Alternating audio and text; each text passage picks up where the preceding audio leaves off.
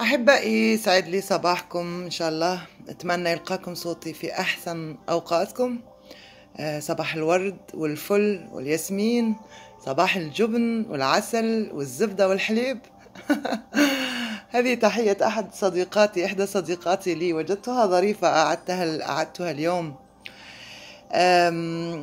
اليوم سأجيب عن سؤال طرح لي في الكثير من المرات.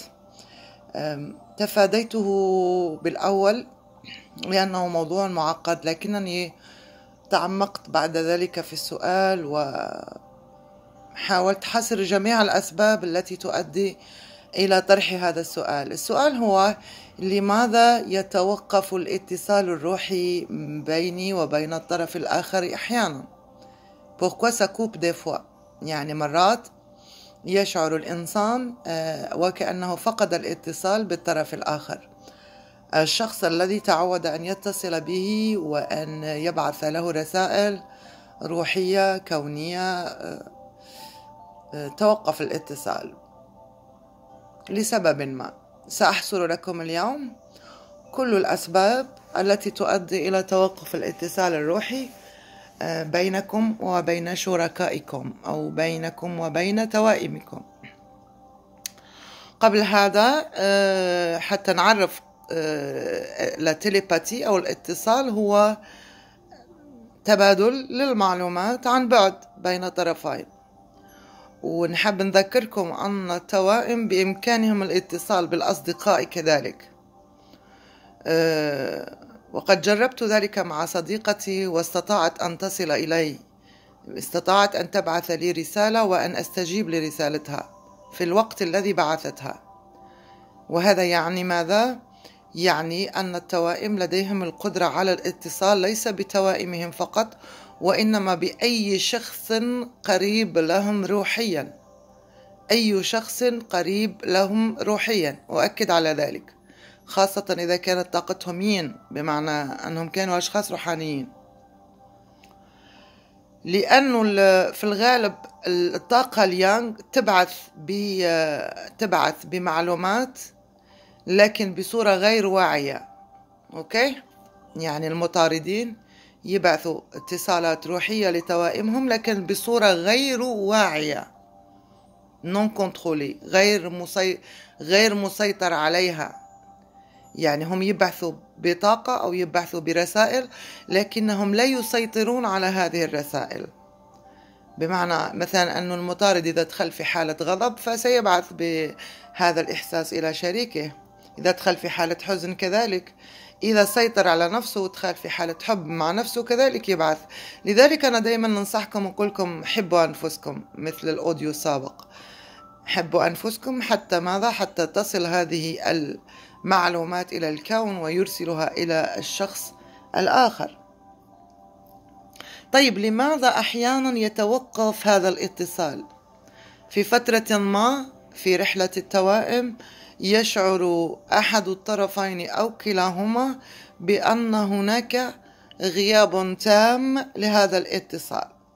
وأنا أعرف الآن وأنا أكلمكم أن الكثير منكم قد شعر بذلك بما يسمى غياب التليباتي.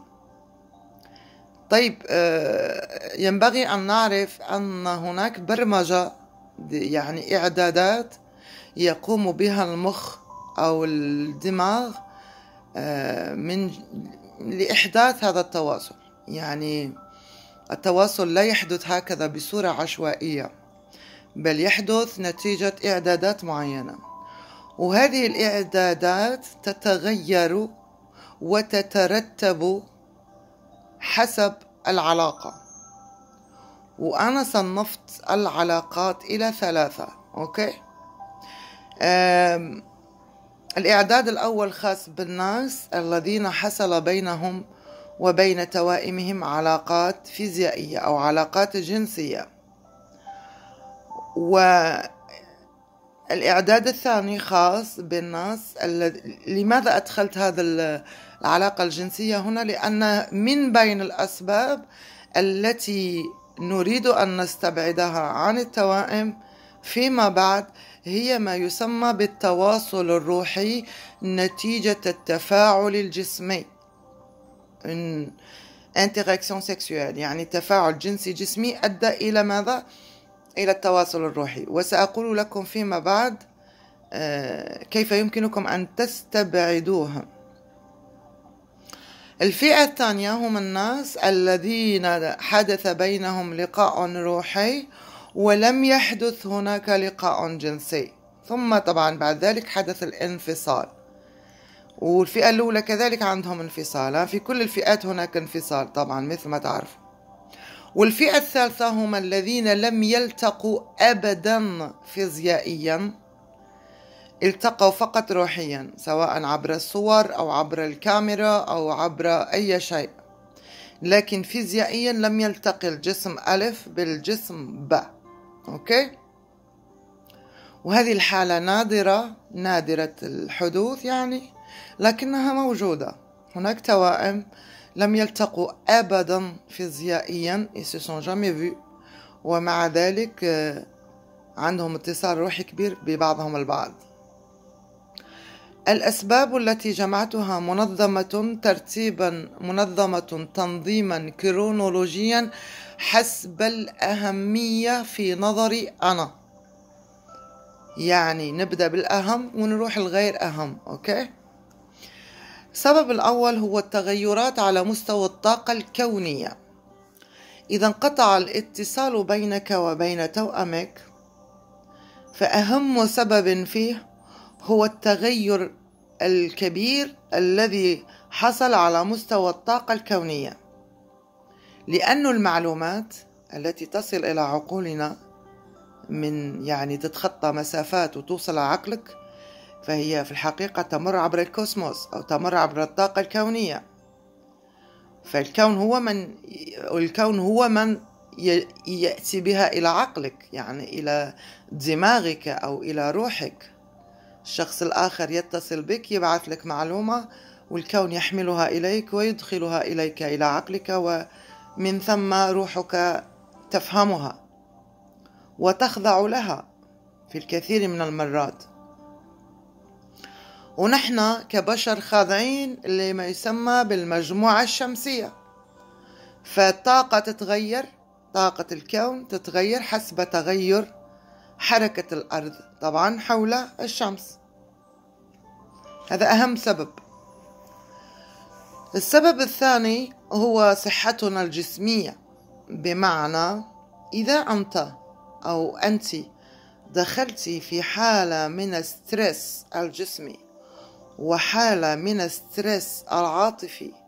ستتغير إعدادات دماغك أو إعدادات المخ لديك وسيحدث هناك تغير على مستوى طاقتك. من جراء ماذا؟ من جراء الأكل السيء الهضم السيء قلة النوم قلة الشمس قلة الطاقة الشمسية إلى آخره. بالفرنسية نقولوا le changement de taux vibratoire تغير النسق في ذبذبات طاقتك. قد يجعل منك غير قادرة على ماذا؟ على استقبال المعلومات أو استقبال الرسائل الروحية.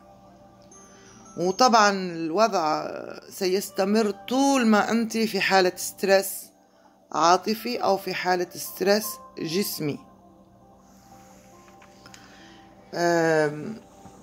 السبب هذا السبب الثاني من حيث الأهمية. آه، السبب الثالث وهو ما يسمى بالمحيط الكهرومغناطيسي الذي نعيش فيه. مثل ما تعرفون نحن نعيش في محيط مملوء بالموجات الكهرومغناطيسية les ondes les ondes sorry électromagnétiques يعني على مثلا الميكروويف التلفاز الهاتف ام الواي فاي إلى آخره. كل هذه هي عبارة عن موجات أو ذبذبات تؤدي يعني ذبذبات ذبذبات parasites يعني هي ذبذبات طفيلية تؤدي إلى اختلاط طاقتك كشخص بطاقة المحيط الذي تعيش فيه أو تعيشين فيه. ومثل ما قلت الأدوات التكنولوجية اللي نستعملوها في حياتنا اليومية لها دور كبير في تشويش الطاقة. أهم الموجات اللي تشوش الطاقة هي موجات ما يسمى بال آه، لي ساتيليت أو لي ثاني الموجودين أعلى آه، العمارة أو أعلى سطح منزلك إلى آخره. البلوتوث كذلك مثلا يؤدي إلى خلط طاقتك يعني va venir perturber ton énergie.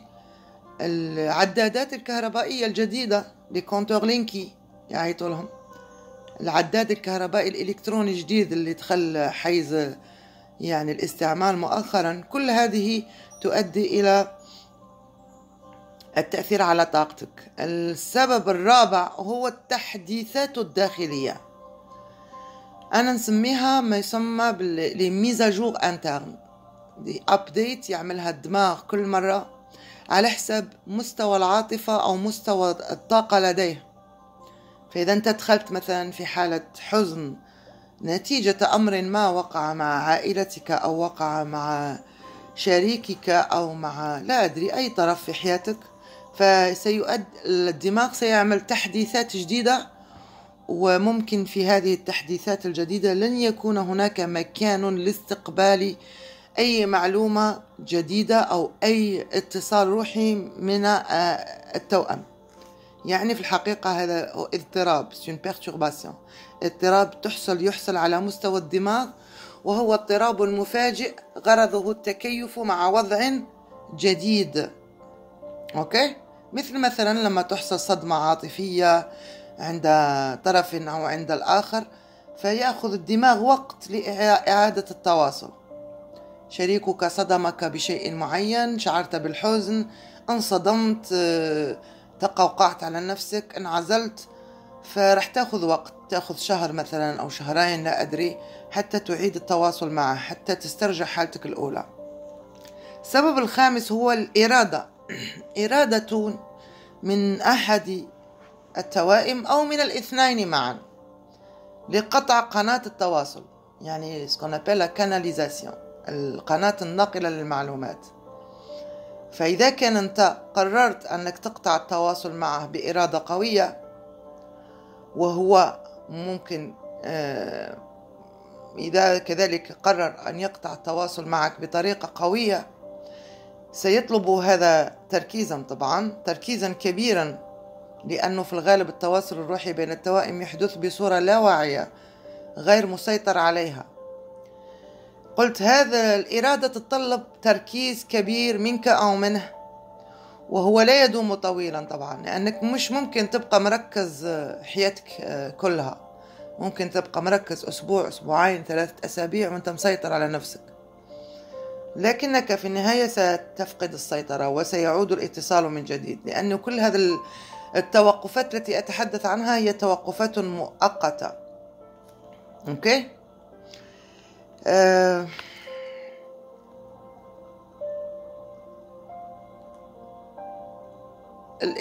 السبب الخامس آه، نعم الرابع والخامس. السبب السادس السبب السادس. sorry وهو آه، سبب في الحقيقة بسيكولوجي لكن خاص بطاقة أجنبية.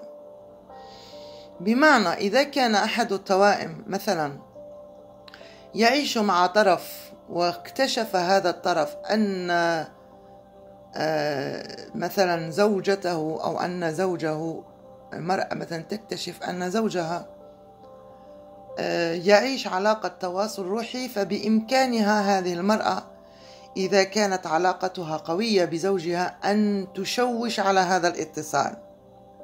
بواسطة ما يسمى بالتفكير بمعنى أنها ستفكر كثيرا في زوجها وبعد ذلك سترسل له طاقة لزوجها وسيجعل سيدخل هذا الزوج هذه الطاقة ستدخل الزوج في حالة ذبذبة. بمعنى حالة عدم تركيز. فسيركز مع هذه الطاقة الأجنبية ولن يبعث باتصالات روحية إلى توأمه.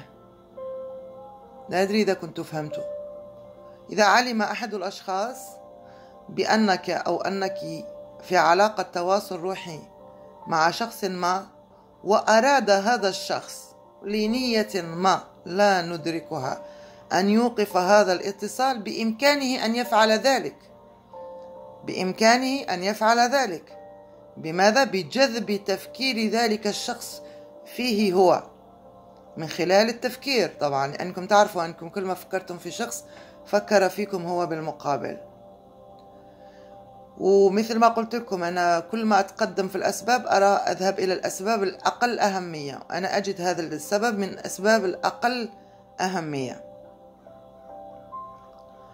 السبب الأخير هو العلاقة الجنسية اللي تحدثتكم عليها في الأول. إذا لم يكن لديك أي اتصال روحي بهذا الشخص ثم حدث بينك وبينه اتصال جنسي وانطلق لديك تواصل روحي مع ذلك الشخص ثم بدأ يخف بعد الانفصال. فاعلم وتأكد بأن سبب الاتصال الروحي هو تلك العلاقة الجنسية التي كنت قد أقمتها مع هذا الشخص. يعني إحنا مو بسيكولوجي في علم النفس نسموها بما يسمى نتائج الجنس.